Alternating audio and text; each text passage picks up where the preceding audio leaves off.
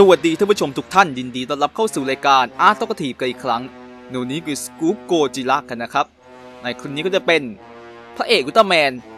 ไปโผล่ในหนังก็ซิล่านะครับ ก็สาเหตุที่ผมทำคลิปนี้ก็คือ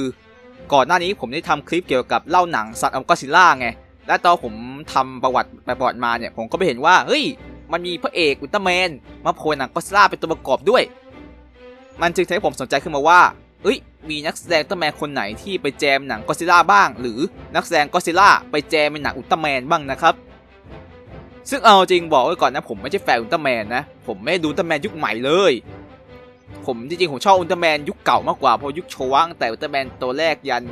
ไอพวกผมพี่น้องอุลตร้าชอบประมาณเนี้ยแล้วก็ชอบทีก้ากับคอสมอสประมาณนี้แหละ คือแทบไม่ตามอุลตร้าแมนอะไรมาก แต่พอหาคู่ไปคู่มาพบว่าเอ้ย ในอุลตร้าแมนยุคเก่าๆเนี่ยมันก็มีการเหมือนแบ่งสรรปันส่วนนักแสดงเนาะเพราะว่าอุลตร้าแมนคนออกแบบอุลตร้าแมนตัวแรกก็สึบุรายะเอจิไงก็คือคนที่ออกแบบก็อดซิลล่านะครับบางทีก็มีการนักแสดงเออมาโผล่เรื่องนู้นเรื่องนี้บ้างนะครับซึ่งนี่ก็มาพูดถึงว่าเออมีนักแสดงคนไหนบ้างเจ้าอุลตร้าแมนหรือก็อดซิลล่าที่ไปอยู่ในหนังจอยหนังแบบเออสลับไปสลับมานะครับแน่นอนว่าเอามาแค่บางส่วนนะเพราะจริงมีหลายคนแต่ส่วนใหญ่มาฐานตัวประกอบในหนังเรื่องนั้นไงบางทีหายากมากว่ามันโหตอนไหนวะอะไรแบบนั้นนะครับ ในที่นี้ขอเริ่มจากพระเอกอุลตร้าแมนก่อนเลย พระเอกที่เล่นอุลตร้าแมนมี 2 คนเท่านั้นที่ปรากฏตัวในหนังก็ซิล่านะครับนั่นคืออุลตร้าแมนตัวแรกเลยชินฮายตะ ที่แสดงโดยซูซูมุโคโรเบะนะครับซึ่งเขาคนนี้ก็แน่นอนว่าเป็นพระเอกอุลตร้าแมนตลอดกาลนะครับโผล่มาอุลตร้าแมนหลายภาคมาก ในฐานะก็เป็นเหมือนรุ่นพี่ใหญ่อุลตร้าแมนนะเนาะแน่นอนว่าก่อนหน้านี้ก่อนจะเล่นอุลตร้าแมนเนี่ยเขาปรากฏตัวในหนังก็ซิล่ามาก่อนอุลตร้าแมนอีกนะเพราะอุลตร้าแมนภาคแรกเนี่ยมันออกฉายในปี 1966 มันก็หลังก็ซิล่าหลายปีแหละ แต่นักแสดงคนเนี้ยที่เล่นเป็นชินไฮยตะเนี่ยปรากฏตัวมาก่อนหน้านี้แล้ว ตรงที่หลายคนอาจไม่สังเกตว่าไอหมอนี่โผล่ตอนไหนวะ เพราะบทเขาน้อยมากเรียกได้ว่าก่อนจะเป็นเพลอุลตร้าแมนเนี่ยบทหนังก็ซิล่าเนี่ยตัวประกอบตลอดกาลเลยนะคือ ไม่มีเล่นเป็นตัวเอกสักกันเรื่องเลยอย่างบทบาทแรกที่เขาโผล่ก็ซิล่าก็คือโผล่ในภาคกิโดล่า The Three-Headed Monster ปี 1964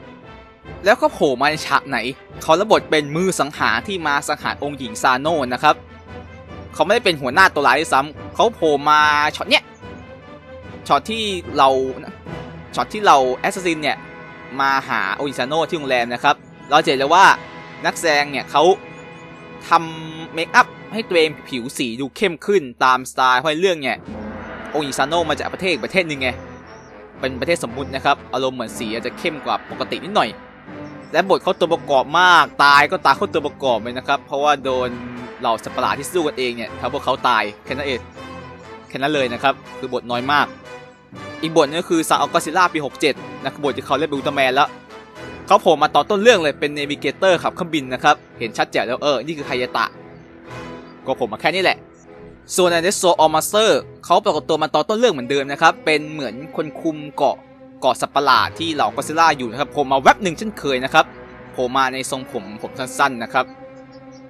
เรียกได้ว่าแต่ละภาคที่โผล่มานี่คือตัวประกอบมากนะครับ และยังไม่พอเขายังปรากฏตัวอีกในก็ซิล่ายุคเฮเซนะครับสองภาคด้วยกันนั่นคือก็ซิล่าปะทะ King Ghidorah แล้วก็ภาค Mothra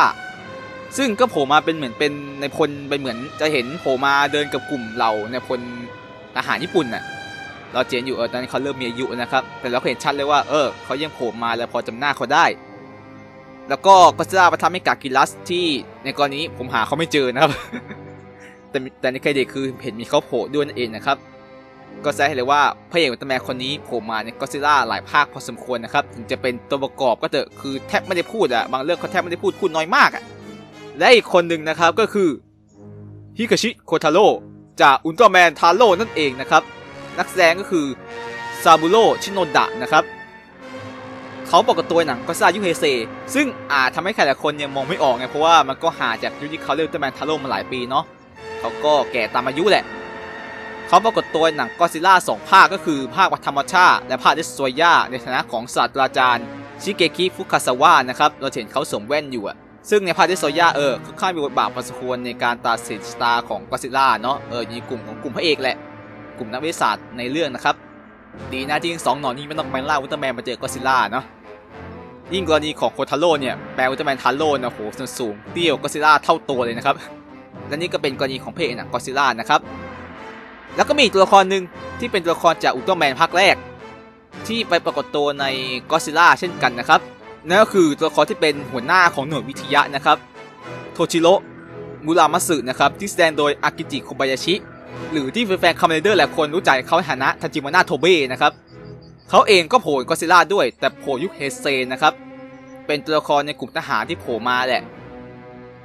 เราเจ๋งเขาโผล่มาสองภาคกันคือภาคตักคิงกิโดราแล้วก็มอทรานะครับ ก็เป็นตัวละครที่โผล่มาแต่น้อยสุดเออมีบทบาทมากกว่าอุลตร้าแมนเฮตากัน คือน้อยแล้วก็เห็นเขาเออมีโชว์พูดอะไรบ้างมากกว่านะครับอะพอหมดตัวละครที่ดูเด่นไปแล้ว มาดูฝั่งก็ซิล่าบ้างว่ามีนักแสดงจากหนังก็ซิล่าคนไหนบ้าง ที่ไปแจมในหนังอุลตร้าแมนนะครับ ก็ขอแหล่งภาคจากหนังก็ซิล่าภาคแรกเลย นักแสดงที่โผล่หนังก็ซิล่าภาคแรกที่ไปแจมอุลตร้าแมนก็คือ ตัวละครที่เล่นเป็นไซสวานั่นเองนะครับตัวละครสำคัญเลย ที่แสดงโดยอากิฮิโกะฮิระตะนะครับเขาปรากฏตัวอุลตร้าแมนภาคแรกเช่นกันนะครับ ซึ่งนักแสดงไซสวาเนี่ยเขาก็เล่นหนังก็ซิล่าหลายภาคมากเหมือนกันนะส่วนใหญ่เขาก็รับบทเป็นนักวิทยาศาสตร์แหละพร้อมโผล่อุลตร้าแมนเขาก็เล่นเป็นนักวิทยาศาสตร์เหมือนเดิมนะครับ โดยปรากฏตัวตั้งแต่อุลตร้าแมนภาคแรกกันแหละ โดยเขารับบทเป็น professor อิวามโตะนะครับโผล่มาแต่ตอนสองแล้ว แล้วก็โผล่มาเป็นคนประดิษฐ์อาวุธที่สามารถสังหารเซตตอนได้ในตอนจบนะครับ เรียกว่าแทบจะเป็น type cast ของเขาเลยนะที่แบบเล่นเป็นนักวิทยาศาสตร์นะครับ แล้วก็โผล่มาในอุลตร้าเซเว่นนิดหน่อยนะครับก่อนนอเป็นตัวละครสำคัญในหนังคอซิล่าที่ไปโผล่ในหนังอุลตร้าแมนนะครับและอีกคนหนึ่งเป็นกรณีค่อนจะลำบากหน่อยเพราะว่าเขาโผล่หนังก็ซิล่าหลายภาคมาก แล้วอุลตร้าแมนเขาก็โผล่หลายภาคเช่นกัน แต่อุลตร้าแมนบทบาทเขาค่อนข้างจะน้อยมาก แต่ปูซาโผล่หลายภาคนะแต่ผมเนี่ยหาข้อมูลรูปเขาลำบากมากนะครับ เขาเป็นนักแสดงที่มีชื่อว่าเคนจิสหระนะครับเขาโผล่มาจากก็ซ่าภาคแรกเลย แต่ผล่มาเป็นตัวประกอบเป็นผู้ชายบนเรือนะครับ ก็มองแทบไม่ออกแหละ และเขามารับบทเป็นพระเอกในคิงคองพัทักก็ซิล่าในตัวละครชื่อว่าคัตสึโอะนะครับ แล้วก็เป็นตัวร้ายนักธุรกิจเฮงซวยในมอท่าปะทักก็ซิล่า แล้วก็โผล่มาในหนังก็ซิล่าเป็นตัวประกอบหลายภาคมากนะครับ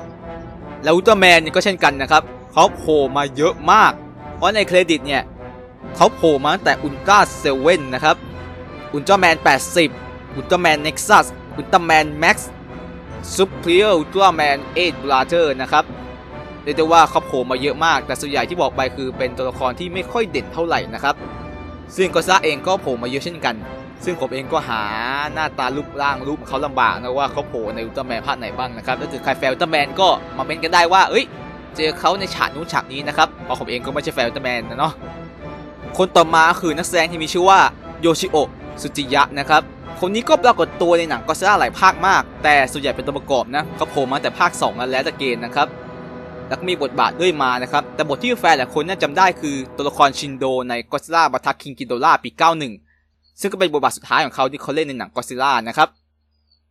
ซึ่งอุลตร้าแมนเนี่ยเขาโผล่มานิดหน่อยในอุลตร้าแมนภาคแรกตอนที่ 18 ในชื่อด็อกเตอร์โมริตะ แล้วก็อุลตร้าเซเว่นในตอน 14-15 ในฐานะตัวละครด็อกเตอร์สุจิดะนะครับ คนต่อมาคือนักแสดงที่มีชื่อว่าฮิสยะอิโตะนะครับ คนนี้ปรากฏตัวใน Ghidorah The Three-Headed Monster บทบาทที่เราคนจำได้คือเป็นหัวหน้า assassin ตัวร้ายนะครับ ที่ใส่แว่นดำๆครับ เขาปรากฏตัวในอุลตร้าแมนภาคแรก ในเครดิตเนี่ยเขาโผล่มาถึงสามตัวละครด้วยกันนะครับ แต่คนที่ผมพอเห็นหน้าบ้างก็คือเป็นด็อกเตอร์ยามาโมโตะในอุลตร้าแมนตอนที่ 33 นะครับอุลตร้าเซเว่นในตอนที่ 33 เช่นกันในบทด็อกเตอร์ยามาโมโตะเหมือนเดิมนะครับ แต่เขาก็โผล่ในก็ซิล่าภาคอื่นด้วยอย่าง Ebirah แล้วก็ Destroy All Monster นะครับ คนต่อมาคือยุกิโกะโคบายาชินะครับ เธอปรากฏตัวในหนังก็ซิล่าภาคเดียวคือนางเอกจากภาค Destroy All Monster นะครับ เป็นผู้หญิงที่โดนเอเลี่ยนควบคุมนะครับ เธอปรากฏตัวในอุลตร้าเซเว่นด้วยนะครับ เป็นเอเลี่ยนซีโร่วันนะครับ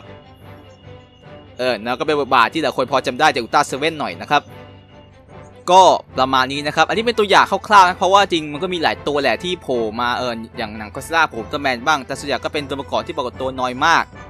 และรูปก็หาไม่เพียงพอมาทีแบบ ผมก็หาไม่เจอนะว่าเขาโผล่ช็อตไหนนะครับ เพราะว่าอุลตร้าแมนก็มีหลายตอนนอกไปซีรีส์ไงบางทีผมก็หาเจาะจงไม่ทั่วนะครับ ก็ขออภัยด้วยนะครับ อันนี้ก็เจาะมาแค่ตัวละครที่พอจำได้เนาะก็เกิดใครแฟนอุลตร้าแมนที่มาชมอยู่นี้ก็มาคอมเมนต์กันได้ว่าเอ้ยเออมีตัวละครนักแสดงคนนี้โผล่มาในช็อตนี้ฉากนี้ยังไงก็มาช่วยคอมเมนต์กันได้นะครับก็จากไปก็เหมือนเดิมครับมาขายของเหมือนเดิม ก็คือผมแต่ง fan fiction ในเว็บเด็กดีด้วย fan fiction ก็คือเป็นแฟนฟิกอะนิยายดัดแปลงที่ดัดแปลงมาจากเรื่องราวการ์ตูนหนังอะไรแบบนั้นไงผผมก็ดัดแปลงมาหลายเรื่องนะครับ fanfiction เนี่ยโดยเฉพาะเกี่ยวกับโนบิตะฮาเลมนะครับแต่เรื่องราวที่ผมแต่งค่อนข้างจะแอบ dark หน่อยจริงจังหน่อยผมก็แต่งมาหลายเรื่องมากนะครับทั้งอะไรโนบิตะ no Biohazard เป็นโนบิตะโลกซอมบี้ที่แต่งต่อจากเกมนะฮะต่อจากเกม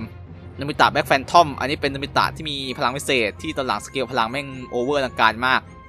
โนบิตะเป็นนักฆ่าเป็นโนบิตะที่อยู่ในโลกของ John Wick เป็นเรื่องราวค่อนข้างจะ dark หน่อยที่โนบิตะจะเป็นนักฆ่านะครับแอบกดตับ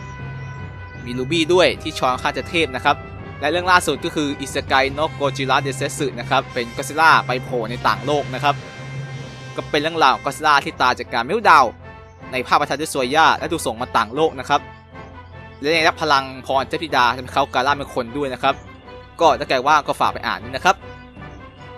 ช่องอาร์ตตัวทีก็ทำนังกอซิล่าเอ่ยลูบี้เอ่ยแปซิกริมเอ่ยโดไลมอนพีเตอร์สแล้วก็กำลังจะมีเทอร์มินเตอร์กดติดตามได้นะครับ ผมมีโดเนทด้วย ถ้าเกิดใครมาสับสนก็มาสำนักทันล่าง ผมมีเฟซบุ๊กแฟนส่วนตัว ถ้าเกิดใครถามเลยมาถามในเฟซได้ ในชูมันไม่สต็อปเท่าไหร่สำหรับวันนี้ก็ตัวลาไปก่อน สวัสดีครับ